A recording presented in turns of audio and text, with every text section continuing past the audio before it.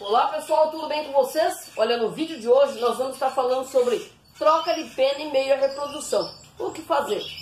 Vamos juntos entender um pouco mais por que, que isso acontece e como resolver.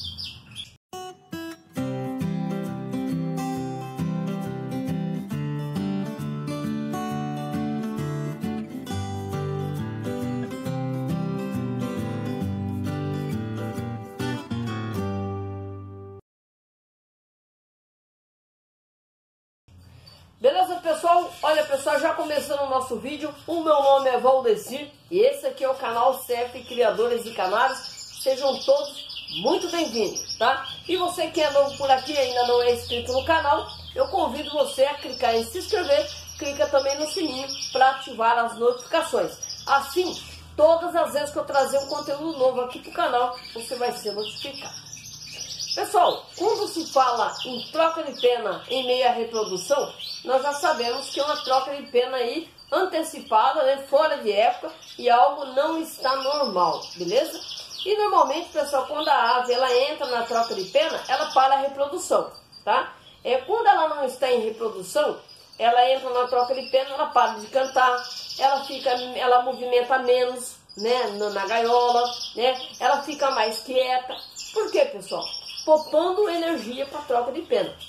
Né? Então, é comum um pássaro, quando entra na troca de pena, ter essas características, né? Mais quieto, não canta, fica meio quietinho, beleza? E, na troca, e quando está reproduzindo, e isso vem acontecer, normalmente o pássaro ele para de reproduzir, a canara não faz o ninho, não entra em reprodução, né? não fica pronta, tá? Então, isso são algumas características de um pássaro que tem reprodução e de repente começa a trocar pena. Mas antes eu, eu, eu, eu quero entender junto contigo, explicar por que, que isso acontece. Pessoal, todo o metabolismo de uma ave, como também nos seres humanos, é regido por hormônios, né?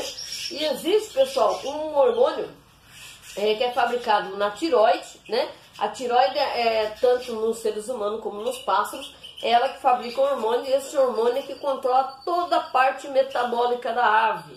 E quando alguma coisa está errada, acontece, falta algum hormônio desse, pessoal, consequentemente, é, a ave ela vem apresentar as suas características é, de anormalidade, beleza? É, e hoje eu quero falar para você, pessoal, sobre dois, dois hormônios que é fabricado na tiroide do pássaro, né? Que é o D3 e o D4, né? O D3 é a... Até marquei o nome ali que é difícil falar, hein? é triodro, triodotionina. E o, o D4 é a tiroxina. Né? Então são dois hormônios fabricados pelas aves na tiroide que tem a função muito importante de fazer todo o metabol, metabolismo da ave. E esse primeiro que eu falei aí, pessoal, que é o, é o D3, ele tem a, o hormônio dele, o principal é o iodo, né? E o iodo, pessoal, é esse hormônio que faz a parte ali de todo o metabolismo da ave. Quando falta esse componente, esse hormônio ali, é, consequentemente a ave vai apresentar é, característica de anormalidade, como eu falei. E a troca de pena fora de época é uma delas, tá? Então o, o iodo, a deficiência de iodo causa isso, tá? E também como nos seres humanos, o iodo é muito importante, tá? Então, é, aqui no meu canal esse ano já aconteceu, né? As, mas por que, que isso acontece? Né? É, pode ser alimentação? É, pode ser quando você muda, né? Quando você está com alimentação de repente você muda a alimentação do pássaro e tudo aquilo que muda, que causa algum estresse na ave, alguma. É, pode acontecer isso também. É, mas no meu caso que não foi, porque de nove casais, somente um casal é, antecipou a sua troca, começou a fazer troca de, de pena aí na reprodução, né?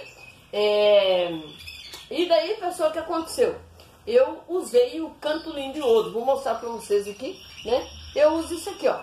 O cantolim de ouro. Por quê? Ele vai repor, né? A deficiência de iodo. Isso, no caso aí, na maioria das vezes é deficiência de iodo. Você vai estar tá dando aí e o iodo vai estar tá estimulando a glândula, né? E esse hormônio é, vai estar tá aí é, é, fazendo com que firme a troca de pena na ave e você consiga ainda reproduzir esse casal. é, uma, uma, uma experiência que esse casal aqui, ó, parou a troca de pena, a canada já está fazendo o ninho e eu tenho certeza que eu vou conseguir tirar filhote deles ainda, tá? Então você percebeu que o seu casal está trocando de pena, né? Algumas trocas de pena ali, né? E você já pode entrar com o canto lindo de ouro. É claro, pessoal, que eu sei aqui com os meus canários, né? É quando que nasceu. Então eu sei como eu sempre tiro a, de, de julho a dezembro. Então a troca de pena deles é sempre depois da reprodução. Aí começa em janeiro, né? É, agora, também tem a, a causa, se for um filhote que nasceu, vamos supor, bem antes, pode ser que ele tenha a troca de pena dele aí antecipada, né? Lembrando, pessoal, que a troca de pena dos aves, das aves aí também tem estimulação aí pela, pelo, pelo, pela claridade, né? Então o canarinho tem que ter uma claridade boa, né?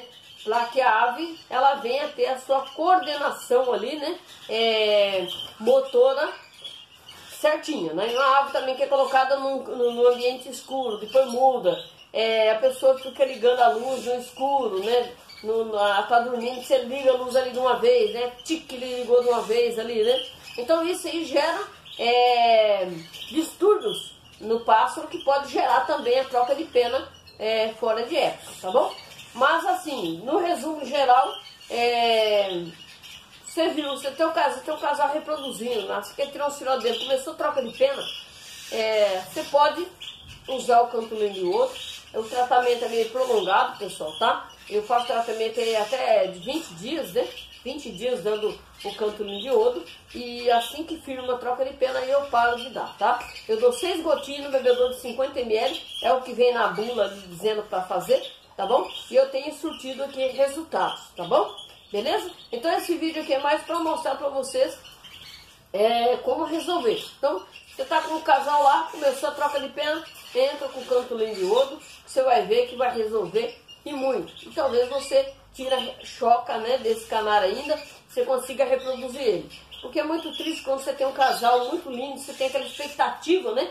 Para tirar filhote dele, e de repente você começa a ver algumas penas ali no fundo da gaiola, né? Então você entra com o cantilinho de ouro que vai te ajudar muito, beleza? Eu vou ficando por aqui. Eu quero agradecer a todos vocês que é inscrito no canal, vocês que é parceiro, você que compartilha os meus vídeos, você que deixa o like, você que comenta. Pessoal, eu quero pedir a todos vocês, tá? Que você que tem dúvida, deixa nos comentários, beleza? Deixa nos comentários aqui embaixo em determinados assuntos tá? É, indicação de vídeo, né? Sugestão de vídeo, né? Pode deixar aqui nos comentários que eu vou estar tá, é, atendendo é, da melhor forma possível, tá bom? Lembrando sempre, pessoal, que às vezes fica alguns comentários, até esse dia mesmo um rapaz de Mintangosto, não respondi o comentário dele, mas às vezes, pessoal, é bastante comentários e alguns comentários acabam caindo na caixa de spam e, e, e, acaba passando batido, tá? Então, eu peço até desculpa em não poder responder todos os comentários. O, o, o, o maior interesse meu, no caso, seria responder todos e da melhor forma possível. Mas também não tem muito tempo. Então é uma correria no horário de almoço, assim que eu posso, vou responder nos comentários de vocês, tá? Mas não deixe não, não deixe de, de, de deixar seus comentários não, tá bom? Beleza? Forte abraço, fica com Deus e até o próximo vídeo, em nome de Jesus, se assim Ele nos permitir.